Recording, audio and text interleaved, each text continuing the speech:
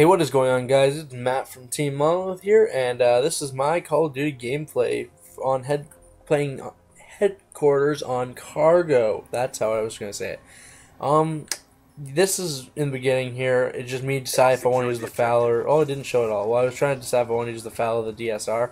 I end up using the DSR somewhat of the game, but I pick up most of the guns that people drop in this.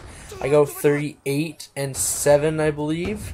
I go on a really awesome spree, and it's uh, pretty good actually. I went, I got a clutch album emblem that was pretty awesome.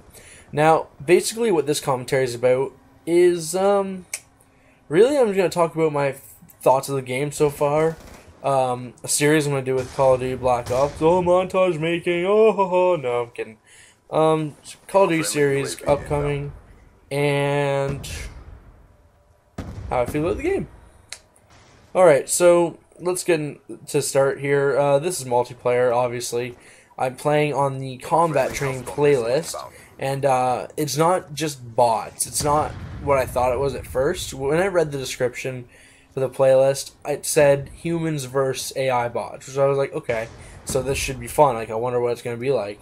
So I played it a couple times, and I noticed that it, it wasn't humans versus bots. It was mainly players versus players. And um, what it is is every time someone quits, they replace that person with a bot, and I think that's pretty neat actually because it, it's it seems like it's better to do that because then like if someone leaves and uh, your team's gonna do really badly until someone joins, like if you're gonna get screwed over, why not just throw a bot in there? Like it'd be easier to do something like that. Like in Halo, if someone leaves the game in Halo now that you can, then they should throw a computer in there on like let's say heroic difficulty. It seems pretty fair to me. I'm not gonna lie, but that's just my opinion. Um, but yeah, this is the combat training playlist, and it gives you every game type, I believe.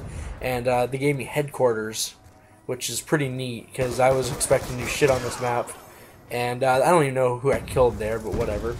Yeah, but I was expecting to do really shitty on this map, and turns out that I did pretty good, and I was actually surprised.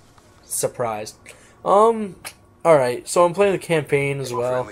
Campaign, I'm going to say, is really fun. It is not as scary as World at War with the random grenades everywhere. Um, I like you can ride a horse. Like, that was the one thing I saw in the game in the trailer. I was like, this is gonna be the stupidest thing ever. You're on a horse, like it's pretty neat, but the horse is so confusing to move sometimes. Boom, got him. And I don't know, like they they could have done without a horse. Like it's the like they think it's the future, but I'm not gonna ruin it for anyone. So I'll let you guys play the campaign. But all in all, so far, not done the campaign yet, but I think it's really fun so far. It's really well done. Uh, I like it a lot better so far than Black Ops 1 campaign because uh, you can make your own loadouts for the uh, missions, which I think is really neat. Like going in there instead of using the pre-guns they give you, so like, let's say they give you, I don't know, Spaz and uh, silenced pistol, you can be like, nope, screw you, I'm to change the Spaz for like a machine gun, and my secondary can be anything basically. You can have, and then you can choose like your grenades, your uh, like concussions and stuff. You can give yourself uh, like perks and shit, and it's really neat. Like I like it personally. Oh, what else is there? Oh, the zombies. Okay.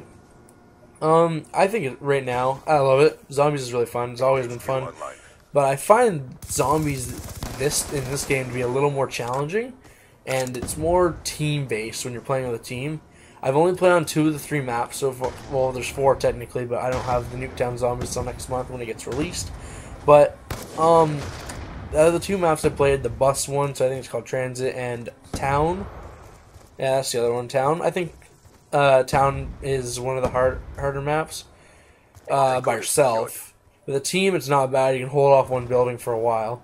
And Transit on its own is really like on your own is really difficult. That's just my opinion. Know, like other people like aren't, are, uh, are obviously better than me at this game and as zombies. So, like to them, they're probably sitting there just saying, "Oh, well, it's pretty easy. Just you gotta do this and all that stuff." But yeah, I don't know. That's just me personally. Um, what else?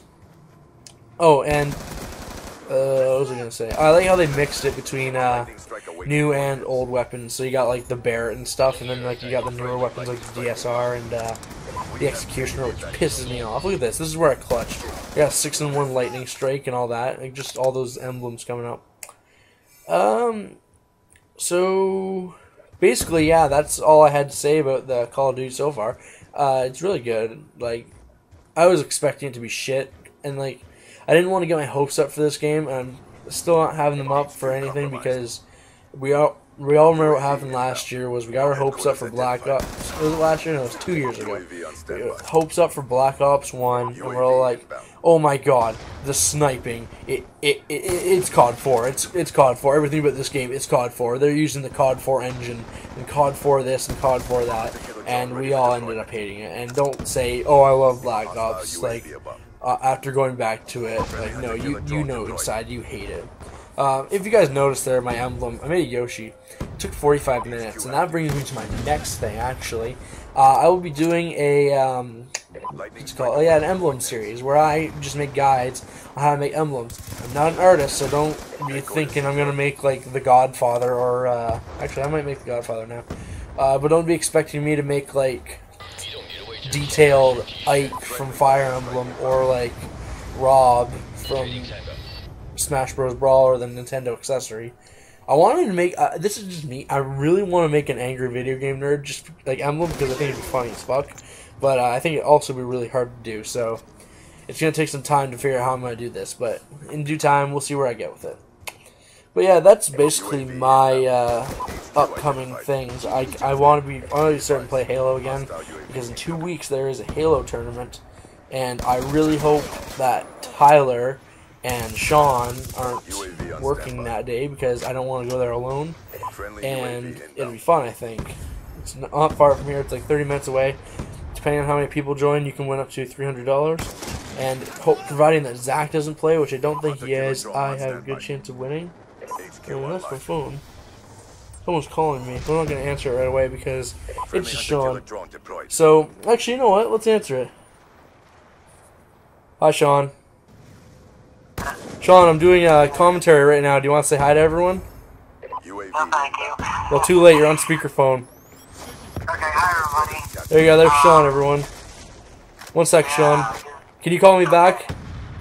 Uh, yeah, I can. Awesome. Thank you. Three minutes. Okay, no problem. Awesome. Bye. Anyways, that was Sean, you guys. Um, yeah. So I'm gonna be getting back into Halo because I want to do some more Halo videos. Uh, I loved Halo 4. But In my opinion, basically, Halo 4 is still better than Black Ops because Halo is more of a team-based game, whereas Call of Duty, everyone wants to just do their own thing. It seems like, except for like objective game types like this, but but uh, other ones like uh, Domination, like everyone just wants to do their own thing. They either want to kill, they either want to do the objective, whatever. It's their choice. But yeah, that's it. So yeah, I want to get back into Halo, and there's been a lack of videos on Team Monolith I've noticed as well, and I know that you subscribers have noticed it as well because it's usually me or Vince that's posting. But Trevor and James have a broken computer computers right now, and uh, they're getting them fixed. They should be back anytime soon. Brandon, a new guy, he has uploaded a mid AP mid Taric. Oh wait, watch this. I'm Grizz 360, uh, somewhat scoping quad, not really. But Brandon, he AP mid Taric. Who does that? Okay, that's like me going in there and saying, "Let me mid." Uh, Garen. Like I'm a mid Garen, AP Garen. Figure it out. No, I'm kidding. But yeah, there's a lot of videos, and hopefully everyone will start posting again. There should be a podcast coming again coming up soon. Uh, I'm not sure what the topic on this podcast is going to be, but I think it's going to be really fun. Tomahawk got him, and uh, basically, there's nothing else to really talk about. Like, got two minutes left, and I don't want to just sit here rambling, so I'm going to end it here. You guys can watch the rest of the video, and uh, don't forget to like, comment, favorite, share, do whatever you want. I don't care. But subscribe to Team Monolith if you want to see more Call of Duty, Halo, Gear, not Gears of League, League of Legends, and Pokemon random stuff. And I died here, but yeah, just have fun, have a good day, and uh, hope you enjoyed this video. So I'll talk to you guys later. Goodbye.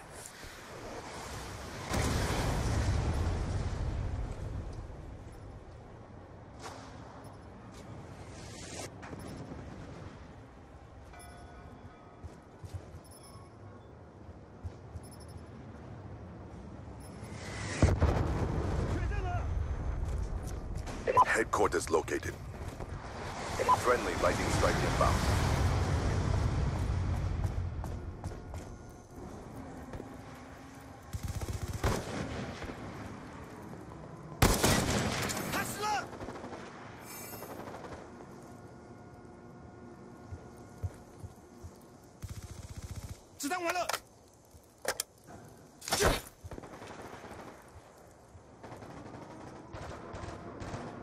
Headquarters online. Friendly UAV inbound.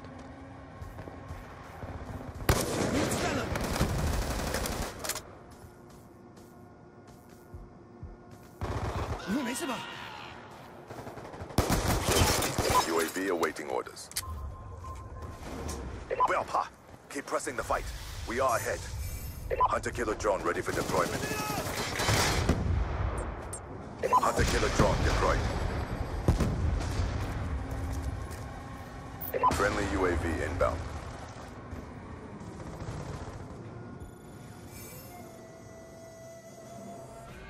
We have succeeded in our mission.